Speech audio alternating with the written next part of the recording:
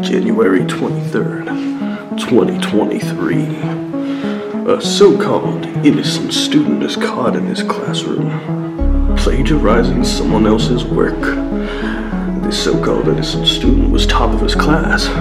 All of his classes, matter of fact. And you might not think that plagiarizing is a serious crime, but I tell you what, in this case, it sure is. This little plagiarizer was caught by his local teacher. Shut down and interrogated by the school's principal. He grabbed the lamp, put it into the student's face. Grabbed the lamp to be more tense, scolding the child for plagiarizing another honest student's work. He took this crime to offense. He said he wouldn't have it at his school, and that he knew what the student did. Told him to get out of his school and never come back.